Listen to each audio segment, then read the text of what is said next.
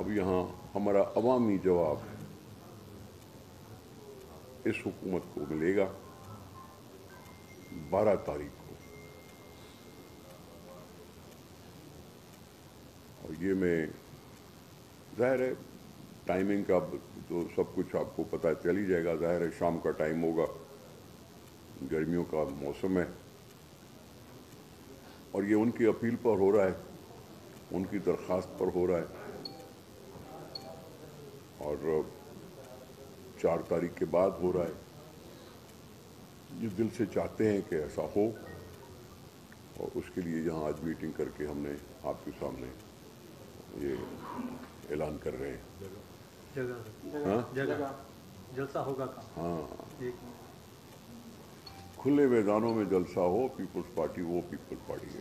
مطلب اور کھلے میدان خان گڑھ میں بہت ہیں۔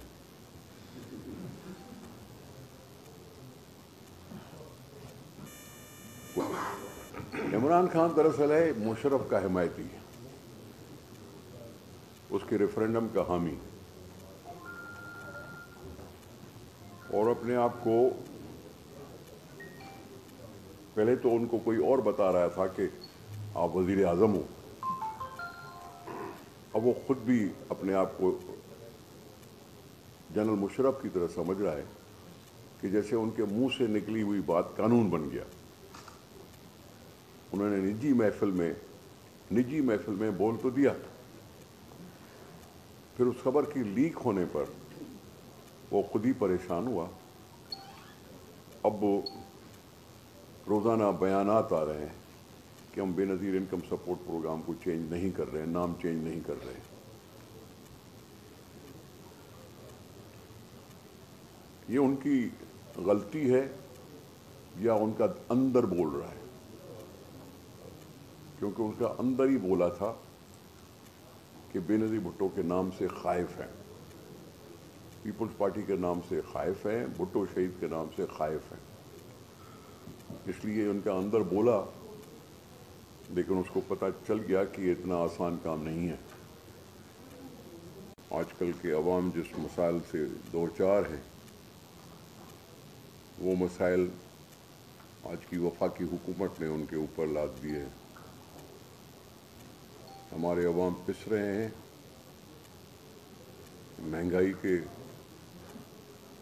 اس طوفان میں وہ ہر شہری پر اثر ہوتا ہے کاشتکار ہو چاہے مزدور ہو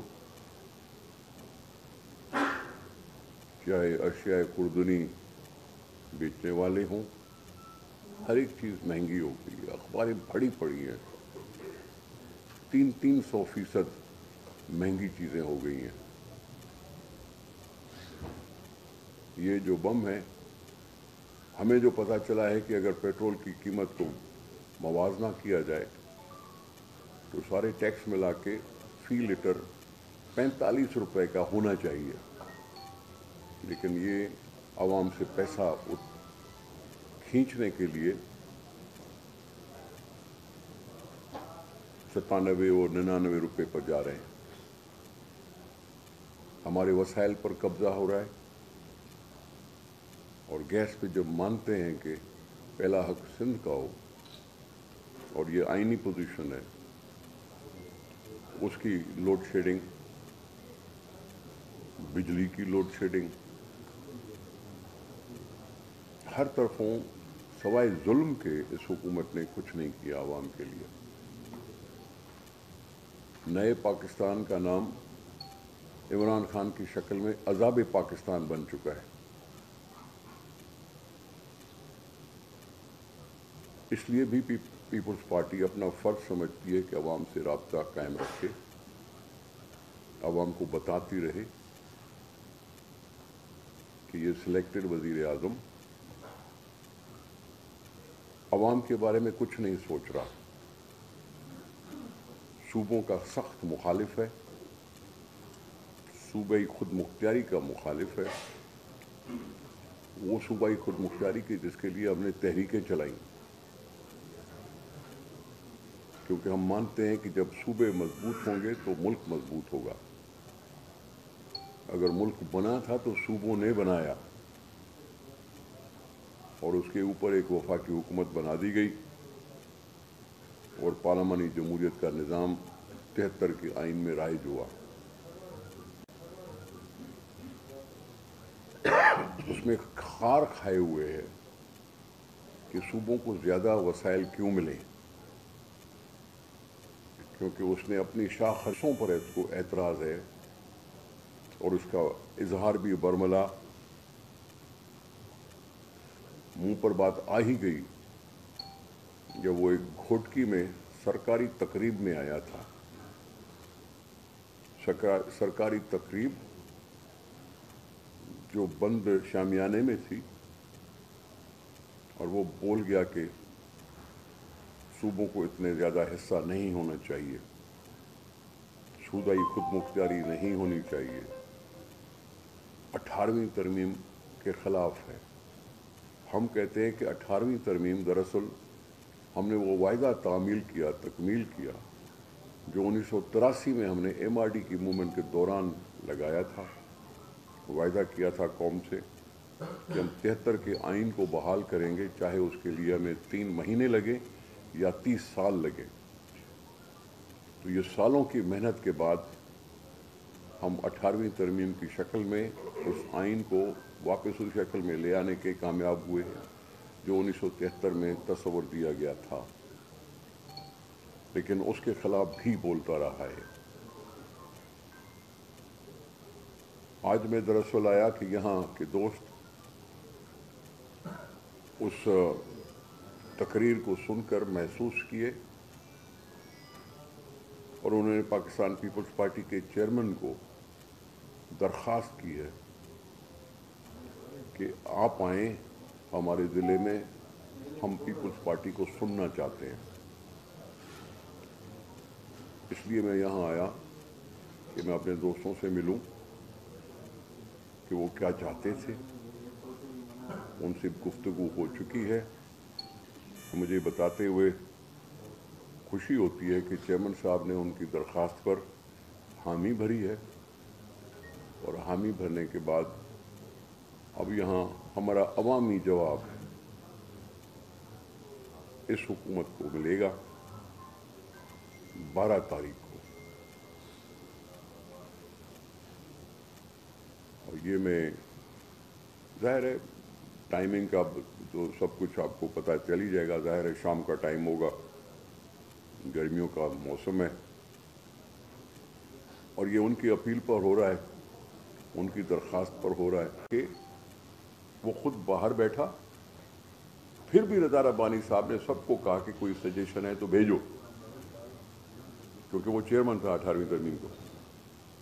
لیکن اس کو کسی نے جواب دیا ہو، نہ دیا ہو انڈر کنسیڈریشن آئی اور جو فیصلہ ہوا آپ کے سامنے ہوا۔ تو یہ ابھی تک ہوا میں اڑ رہا ہے، بول جاتا ہے، سوچتا بعد میں۔ جی سر۔ ایک تو تصور پایا جاتا ہے کہ گنگا میں نہانے کے بعد وہ سارے صاف ہو جاتے ہیں، جو حکومت میں بیٹھے ہیں۔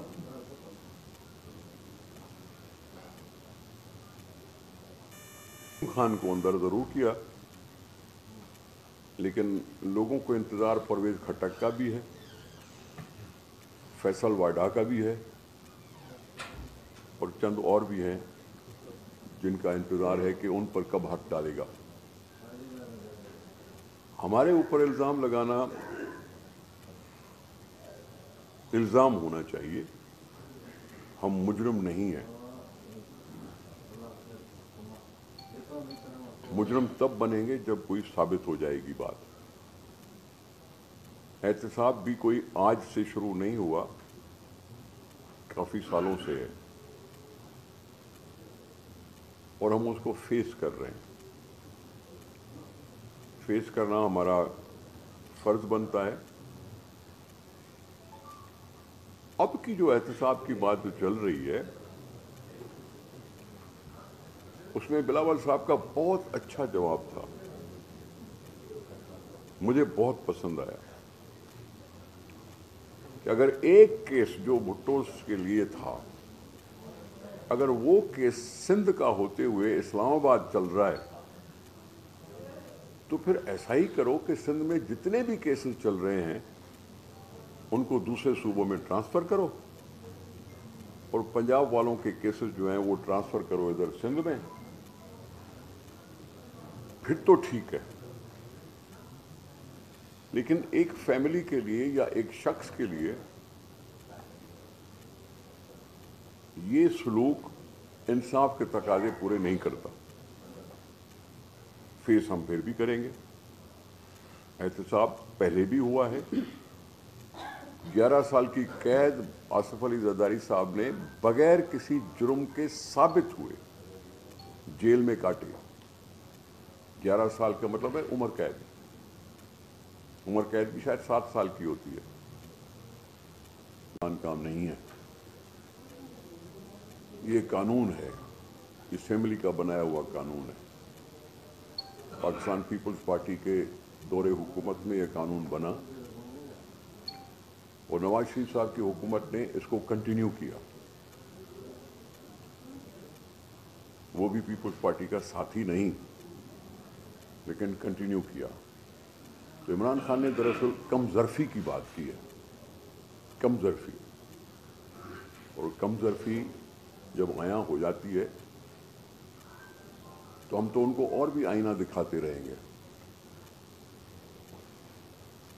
یہ بتائیے گا کہ اٹھارہویں ترمیم کی جو وزیر اعظم بات کر رہے تھے، اس کے بعد صوبوں کو جو حقوق ہیں، وہ صوبوں کو دے دیے گئے مکمل طور پر۔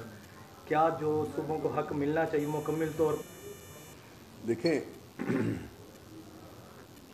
اٹھارہویں ترمیم آئینی ترمیم ہے۔ آئین میں دو تہائی اکثریت جب کسی کو حاصل ہو، تو پھر ترمیم کی جا سکتی ہے آئین میں۔ عمران خان کو تو اس ملک کے عوام نے سمپل میجارٹی بھی نہیں دی۔ اس کو لوگ لا کے دیے گئے۔ چاہے جہانگیر ترین کی بریف کیس نے لا کے دیے، یا کچھ اور فون کالز نے ان کو لا کے دیے۔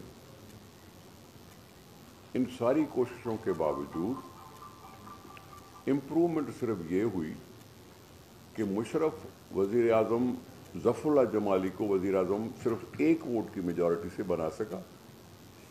اس دفعہ تھوڑی سی زیادہ کوشش ہوئی اور اس کو چھ ووٹوں کی میجورٹی سے وزرات عظما اس وقت تک ہے۔ اس کو دو تہائی اکثریت نہیں ہے، وہ اپنے آپ کو برا کر رہا ہے۔ اس کو پتا ہے کر نہیں سکوں گا، لیکن کہتا ہے کہ کہنے میں کیا حرج ہے۔ ہم عوام سے کوئی بات چھپانا نہیں چاہتے۔ آئین مقدم ہے اور وہ سپریم کورٹ کی مانی ہوئی اٹھارہویں ترمیم ہے۔ سپریم کورٹ نے بھی اس کو بحال رکھا اور سارے پارلیمنٹ نے مل کر فیصلہ کیا۔ یہ عمران خان کا خود قصور ہے کہ انہوں نے دو ہزار آٹھ کی الیکشن کا بائیکاٹ کیا تھا۔ اور بائیکاٹ کرنے کا مطلب کیا ہے کہ عوام پر بھروسہ نہیں کیا تھا۔